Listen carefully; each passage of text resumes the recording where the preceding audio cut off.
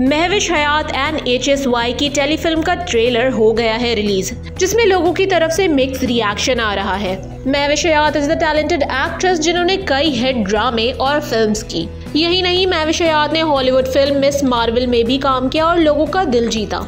और recently actress ने अपना ओन प्रोडक्शन हाउस भी स्टार्ट कर दिया है। On the other side H S Y Pakistan के एक बहुत बड़े डिज़ाइनर हैं, जिन्होंने अपना एक्टिंग डेब्यू ड्रामा सीरियल पहली सी मोहब्बत से किया और लोगों को अपनी एक्टिंग से हैरान कर दिया। साथ ही हमने एच एस वाई को film Ishrat made in China में भी देखा।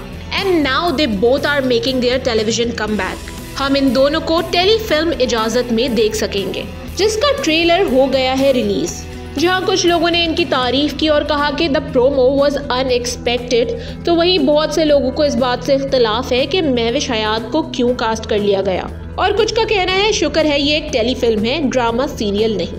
Let us know in the comments कि क्या आपने इस टेलीफिल्म का ट्रेलर देखा and what are your thoughts